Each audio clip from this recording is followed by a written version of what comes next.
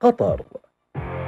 هذه الدولة التي يبلغ عدد سكانها ثلاثة ملايين نسمة هي الآن أول دولة عربية تستضيف كأس العالم. منذ البداية أعلنت البلاد عن حملتها لكأس العالم على أنها استعراض للوحدة العربية وجعلت كأس العالم فرصة لبناء الجسور بين العالم العربي والغرب. هذا البلد الذي يتمتع باقتصاد ريعي يتكون أكثر من 70% منه على أساس بيع النفط والغاز. يبحث الآن عن فرص جديدة لتحسين اقتصاده. يعتقد معاون المركز المالي القطري الشيخ عنود التهني أن إقامة هذا الحدث في بلاده سيحقق رخاء اقتصاديا كبيرا.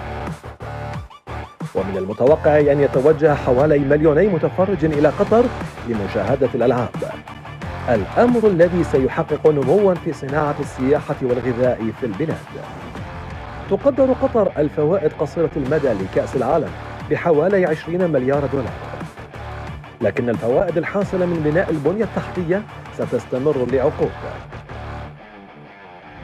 نظرتنا على إحصائيات كأس العالم عام 2018 والتي كانت بحسب الخبراء من أغلى الفترات في تاريخ المونديال هي تأكيد جيد على ذلك. خلال هذه الألعاب. حصلت روسيا على دخل يساوي 1% من الناتج المحلي الإجمالي للبلاد. ساهمت البطولة بأكثر من 14 مليار دولار في الناتج المحلي الإجمالي لروسيا.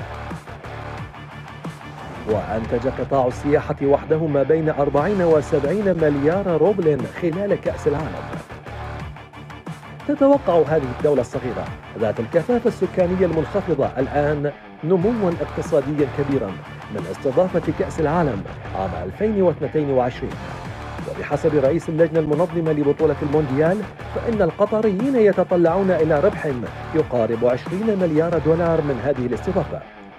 يمثل هذا الرقم 11% من الناتج المحلي الإجمالي لدولة قطر في عام 2019 والواضح أن قطر بذلت قصارى جهدها لاستخدام كأس العالم لكرة القدم لتطوير قوتها الناعمة واقتصادها وسياستها.